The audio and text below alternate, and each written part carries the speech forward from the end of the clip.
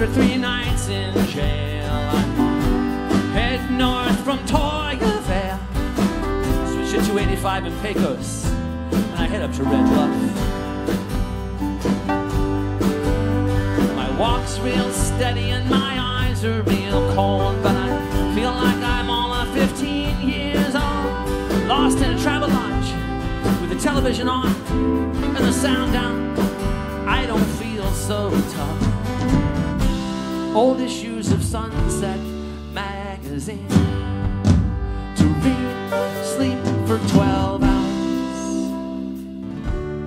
dream about home.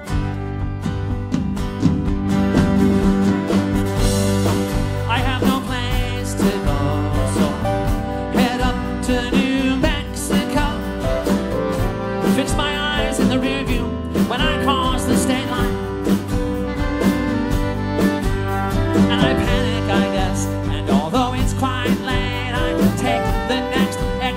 128. I am heading home to Midland, and I hope you won't mind.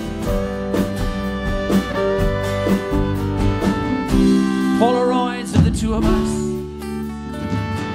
shattered on the passenger seat. I drive slowly, I drive evenly, and I dream about home.